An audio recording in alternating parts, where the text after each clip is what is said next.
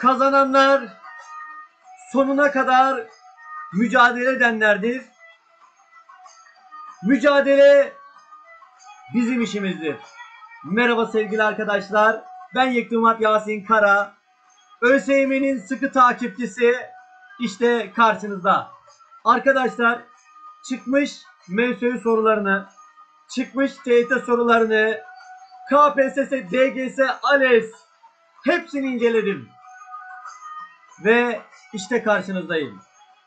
ÖSYM tek sayı çift sayı sorusu sorduğu zaman bunu 3 kulvarda soruyor arkadaşlar. Bunlardan birincisi gördüğünüz gibi şekilli bir soru gelebilir. İkincisi arkadaşlar problem tarzı bir tek çift sayı sorusu gelebilir. Üçüncüsü de arkadaşlar cebirli yani işlemli bir tek sayı çift sayı sorusu gelebilir. Şimdi ben üçünden de sizlere soru çözeceğim ve size şu anda ekranımın hemen üstüne bir link gelecek arkadaşlar.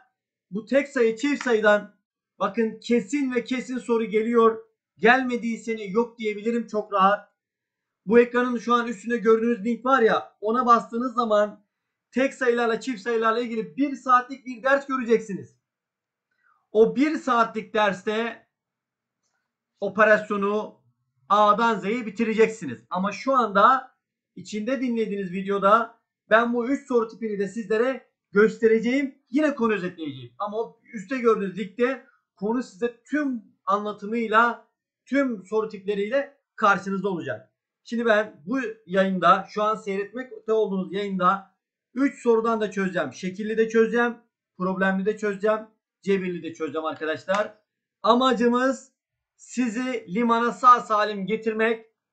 İnşallah sınavda da bundan soru çıkar yaparsınız ama muhakkak ki bir yere yazın. Tek sayı çift sayı sorusu ÖSYM'nin banko sorularındandır denilebilir. Sözü uzatmıyorum. Haydi ders başlasın. Arkadaşlar şekil gördüğünüz zaman korkmayın. ÖSYM sizi sadece bilginizle test etmiyor. Psikolojinizle de test ediyor. Dolayısıyla şekil gördüğünüz zaman hemen korkuyorsunuz. Hayır korkmayacaksınız. Şekil niye var? Soruyu daha anlaşılır hale getirmek için var. Sorunun kafa karıştırıcılığı azalsın diye var. Ama maalesef biz piyasa sorularıyla ÖSYM'yi karıştırıyoruz ve ÖSYM şekilli soru sorduğu zaman korkuyoruz. Birincisi bu psikolojiden kesinlikle ve kesinlikle vazgeçeceğiz arkadaşlar. Şimdi sorumuza şöyle dikkatli bir şekilde bakalım. Şekilde verilen pervanenin karşılıklı kanatları aynı renktedir. Pervane ok yönünde saniyede çeyrek tur dönmektedir. Şekil 1'deki konumda olan pervane A çarpı B artı C saniye boyunca döndükten sonra şekil 2'deki konuma gelmiştir. Buna göre hangileri doğrudur? Bakın tek sayı çift sayı sorusu. Benim şu pervanenin dönüşünden bu kadar döndük dönmüş ya. Bu A çarpı B artı C sayısının teklik ya da çiftliğini belirlemem lazım arkadaşlar. O zaman şöyle yapalım. Bakın şunları mavi diye nitelendirelim arkadaşlar. Şunları da kahverengi diye nitelendirelim. Her saniye geçtiği zaman bir çeyrek tur dönüyor. Yani şöyle diyelim arkadaşlar. Ee, mesela 1 saniye geçtikten sonra ne olur? 3 saniye 2 saniye geçtikten sonra ne olur? Tek sayı dönerse olur, çift sayıda dönerse ne olur? Arkadaşlar şimdi bakın. Bir kere dönerse o zaman şu hani tepeye bakarak söyleyelim. Mavi ne yapar? Şuraya gelir. Yani yukarıda ben neyi görürüm arkadaşlar? Maviyi görürüm. Bir kere dönerse ben maviyi görürüm. Peki iki kere dönerse bu sefer maviden sonra hangi renk var? Kahverengi var. O zaman iki kere dönerse de kahverengi gelir. Peki üç kere dönerse o zaman yine mavi gelir. He, o zaman bakın ben buradan bir şey çıkarabiliyorum. Ne çıkarabiliyorum? Bu pervanenin görüntüsü. Şurada normalde kahverengi var ya. Şu anda hangi renk var? Mavi var. Tek sayıda mı döndü? Çift sayıda mı döndü? Hemen bunu söyleyebilirim. Şimdi dikkat ediyorsanız pervane mavi konuma gelmiş. Yani en üstte mavi konum var. Demek ki mavi konum gelenlerde tek sayıda dönerse mavi konum geliyor. O zaman benim şu A çarpı B artı C dediğim sayı ne olmalı arkadaşlar? Tek sayı olmalı. Bakın şu A çarpı B artı C ne olacak arkadaşlar? Tek sayı olacak. Peki biz biliyoruz. Çarpmada neyle neyin çarpımı tek arkadaşlar? Tekle teki çarparsanız tek oluyor. O zaman burada A'nın tek olması gerekiyor değerli arkadaşlarım. Ve B artı C'nin de yine tek olması gerekiyor. Şimdi bana hangileri doğrudur diyor. Şöyle yapacağız arkadaşlar. Ee, ben Şimdi A'nın tek olduğunu biliyorum. B artı C'nin de tek olduğunu biliyorum. Şimdi B artı C'nin tek olmasını inceleyelim. B artı C tekse bu nasıl olabilir? Hemen buna bakalım. Şöyle olabiliyor. Eğer B çift ise C de tek ise toplamları tek olabilir. Ama aynı şekilde B tek C çift olursa da yine bu olabiliyor. Peki o zaman arkadaşlar buradan hangi yorum yapabiliriz? Ee, B ile C'nin çarpımı kesinlikle çift. Ama B çift diyemem. B tek de diyemem. Belirsiz.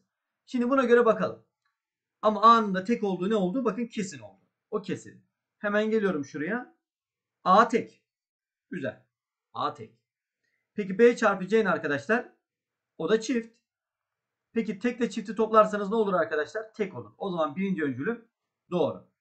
Şimdi geçiyorum şu öncüle. A çarpı B çarpı C tek sayıdır. Şimdi arkadaşlar B ile C'nin çarpımı her türlü çift. E çiftle neyi çarparsan çarp sonuç ne olur? Çift olur. Demek ki benim bu öncülüm yanlış. A artı B eksi C çift sayıdır demiş. Ona bakalım. A ne arkadaşlar? A tek. Peki B artı C ne arkadaşlar? Tekti. Bakın eksi olmasın kafanızı karıştırmasın. Artı ya da eksi burada fark etmiyor. B artı C tekse B eksi C de tektir. Peki tekle tek toplarsanız ne oluyor? Çift oluyor. Peki bu öncül doğru mu? Doğru o zaman. O zaman ne oldu? 1 ve 3 oldu. Değerli arkadaşlar. Bakın şeklin bana vermek istediği tek mesaj vardı. Şu gördüğün ifade tek mi çift mi buna bakıyorsun. Baktığın zaman şu en üstte bakın elim alıyorum. Şurada normalde kahverengi varken şu anda mavi var. Dolayısıyla mavi olması için bu pervanenin tek sayıda dönmesi lazım. 1, 3, 5, 7 sayı gibi tek sayılar dönmesi gerekiyor. Ama ben burada kahverengi görseydim o zaman da çift sayıda dönmesi gerekiyordu. Dolayısıyla arkadaşlar bakın burada şekil bizi çok az etkiledi. Bu sorunun benzeri daha önce ÖSYM tarafından Milli Savunma Üniversitesi'nde turnike olarak soruldu. Bu soru bir turnike olarak sorusu olarak da gelmişti. Fakat şu anki sorumuz Akça Eğitim'in TYT denemelerinden olan bir soru. Bence konuyu da güzel özetleyen bir soru olmuş oldu. Arkadaşlar bu soru tarzı da yine tek sayılar ve çift sayılarda karşınıza gelebilecek bir soru tarzıdır. Tek sayı çift sayı sorularının problemli halidir arkadaşlar. Ve burada emin olun bu sorunun tek sayı çift sayı olduğunu hissetmek zor. Ama bunu başarmak zorundayız arkadaşlar. ÖSYM bunun benzerini 2021 TYT'de sordu. Bu sorunun çok benzeri 2021 TYT'de çıktı. Ee, aslında soru çok kolay bakın aşırı kolay ama o anda sınav heyecanıyla zorlaşabiliyor. O yüzden bu soru tarzına da lütfen çok dikkat edelim. Bir bölgedeki evler düz bir çizgi halinde sıralanmış ve her iki arasına eşit sayıda ağaç dikilidir. Numaraları ardışık doğal sayılar olan evlerin bulunduğu bu bölgedeki farklı evlerde oturan Azra, Dünya ve İlayda'nın oturdukları evler hakkında aşağıdaki bilgiler verilmiştir. Azra'nın oturduğu ev ile Dünya'nın oturduğu ev arasındaki toplam ağaç sayısı çifttir. Dünya'nın oturduğu ev sayısı ile İlayda'nın oturduğu özür diliyorum. Dünya'nın oturduğu ev ile İlayda'nın oturduğu ev arasındaki toplam ağaç sayısı tektir. Buna göre Azra, Dünya ve İlayda'nın oturdukları evlerin numaraları aşağıdakilerden hangisi olabilir? Şimdi arkadaşlar her iki evin arasında çift e, her iki evin arasında eşit sayıda ağaç var. Mesela örnek veriyorum ki daha yanlışsın. 9 numaralı ve 10 numaralı evlerden bahsedelim. 11 numaralı evden de bahsedelim. Burada x tane ağaç varsa yine burada da x tane ağaç var. Şimdi ben iki ev arasındaki ağaçtan bahsetmiyorum. İki ev arasındaki toplam ağaç sayısından bahsediyorum. Yani 9 ile 11 arasındaki toplam ağaç sayısından bahsediyorum. Veya 9 ile 100 arasından bahsediyorum. Şimdi arkadaşlar ne demek istediğimi tam olarak şunu okuduğum zaman anlayacaksınız. Dünyanın oturduğu ev ile İlayda'nın oturduğu ev arasındaki toplam ağaç sayısı tektir derken bakınız burada şu anlam çıkıyor. Demek ki her iki bina arasında eşit sayıda ağaç vardı ya bu ağaç sayısı yani şu x çift olamaz. Eğer çift olsaydı çift o, hepsi çift olurdu ve çift sayıların toplamı yine çift olurdu. Dolayısıyla ben şu cümleden bu her iki ev arasındaki ağaç sayısının tek olduğunu biliyorum. Tamam. İki ev arasındaki ağaç sayısının tek olduğunu biliyorum. Tek sayı yani. Ama kaç tane oldu beni ilgilendirmiyor. Zaten olabilir diyor bu soru. Çıkan soru da bunun mantığındaydı. Şimdi Azra ile dünyanın oturduğu ev arasındaki toplam ağaç sayısı çifttir diyor. Şimdi arkadaşlar 9 10 olursa Peş peşeler zaten. Tekti. Bir kere bu olamaz.